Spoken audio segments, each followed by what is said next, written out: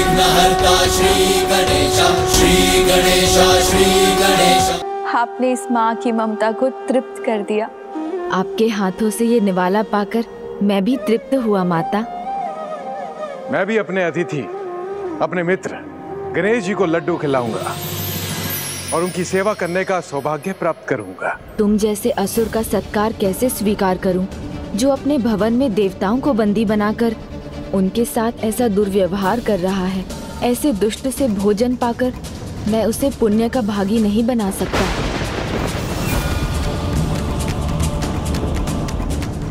नहीं मैं इसे स्वीकार नहीं कर सकता। मुझे कुछ करना होगा। ओहो ये लड्डू है या कोई कठोर पत्थर? हम्म? तू! नहीं नहीं ऐसे कैसे हो सकता है? देखिए ना कितना कोमल है।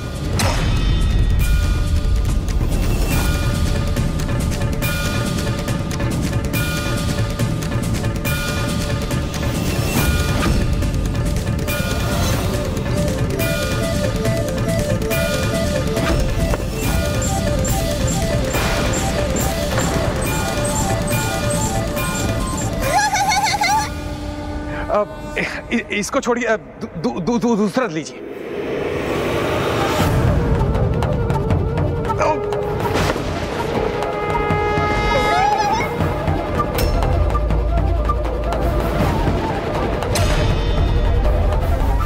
इससे तो कीड़े निकल रहे हैं। माँ ये क्या है? ये कैसे लड्डू लेके आई है मेरे अतिथियों के लिए?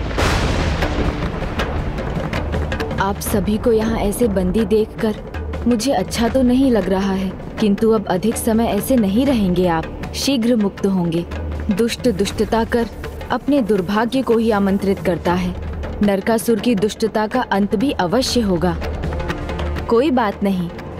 कोई बात कैसे नहीं? आपने अभी एक निवाला तो खाया है। उनसे आपका पेट कैसे भरेगा? तीनों लोगों पर विजय पाकर आपको त्रिलोक का अधिपति की माँ बनाया मैंने और आप एक छोटा सा कार्य नहीं कर पा रही? मेरे अतिथि को, मेरे भवन में स्वादिष्ट भोजन ना मिले, मेरा इतना अपमान, स्वादिष्ट मिष्ठान तक प्रस्तुत नहीं कर सकी तो क्या लाभ है आपके होने का?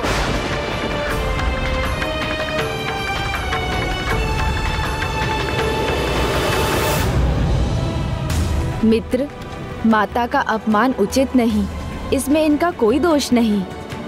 दोष नहीं। षड्यंत्र है इनका। देवताओं को बंदी बनाने से प्रसन्न नहीं है, इसलिए ऐसा कर रही हैं। किंतु अब मैं स्वयं जाऊँगा। राजभवन के बागीचे से आपके लिए ताजे फल लेकर आऊँगा।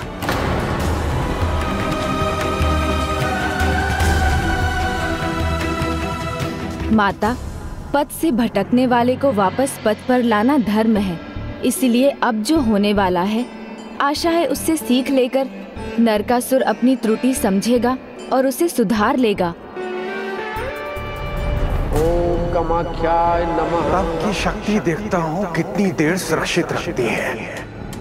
मंदिर में आने वाली प्राण वायु के संचार को ही रोक दूँगा। जब श्वास नहीं तो तपस्या नहीं।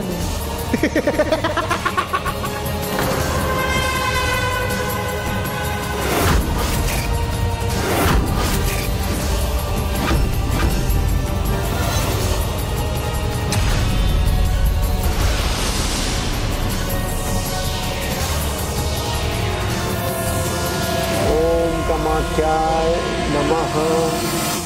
ओम कामाख्याय नमः।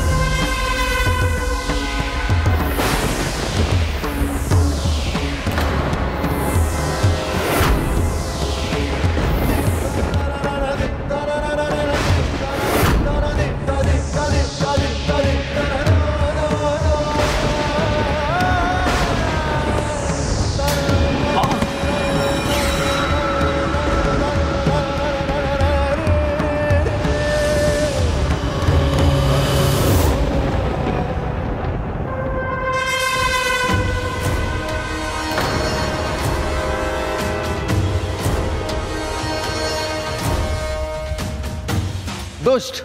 जानते हो किसकी तपस्या में बाधा डालने का दुस्साहस किया है तुमने?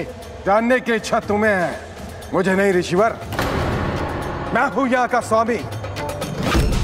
मेरी इच्छा के बिना यहाँ कोई श्वास तक नहीं ले सकता। ये राज्य ये नगर ये मंदिर मेरे अधीन है। मूर्ख जिसके अधीन जगत है तुम उस माता कामाख्या के मंदिर को अपने अधीन बता रहे हो। मैं चाहूँ तो अभी अपने शाप से तुम्हें भस्म कर दूँ। किंतु मैं तुम जैसे मूर्ख पर अपना तपोबल व्यर्थ नहीं करूँगा। तुम प्रयास भी करोगे तो भी तुम्हारा तपोबल व्यर्थ ही होगा, ऋषिवर। इससे पहले मैं तुम्हें यहाँ से धक्के मार के बाहर निकालूं। स्वयं चले जाइए यहाँ से।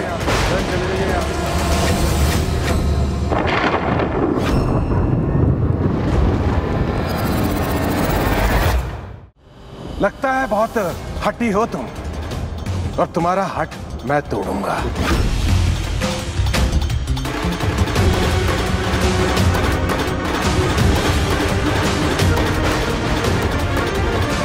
ये दोष ये कैसे बोल करने जा रहा है?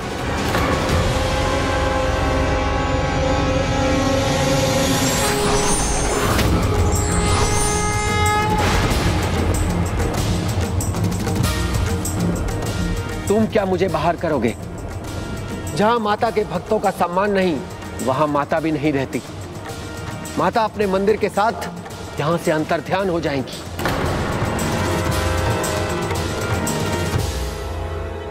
मेरी देवी है माता कामाख्या मैं हूँ उनका परम भक्त। सदियों से उनकी पूजा करता आया हूँ। उनकी विशेष कृपा है मुझ पर।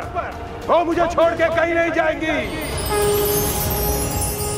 नरकासुर। किस बात पर इतना अहंकार कर रहे हो?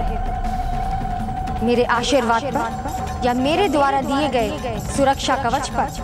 नहीं माता मुझे अहंकार है मेरी भक्ति पर। शक्ति के मध में व्यक्ति ये भूल जाता है। प्रत्येक व्यवहार की एक सीमा होती है। तुमने तो कवच के मध्य में आकर वही सब कुछ किया जो तुम्हें नहीं करना चाहिए था। पहले अपनी माँ का अपमान और अब ऋषिवर का। तीनों लोगों पर विजय पा त्रिलोक का अधिपति की माँ बनाया मैंने आपको। और आप एक छोटा सा कार्य नहीं कर पा रही? तो क्या लाभ है आपके होने का? माता है वो। अपनी ममता से विवश होकर बिना मांगे तुम्हें क्षमा दान देती हुई आई। किंतु आज तुमने मेरे अन्य भक्तों के साथ महर्षि वशिष्ठ के साथ ऐसा दुर्व्यवहार किया। उसके लिए मैं तुम्हें कभी क्षमा नहीं करूँगी। इसलिए ऐसे स्थान पर रहने का मेरे पास कोई कारण नहीं तू माता माता देवी देवी कहाँ गई आप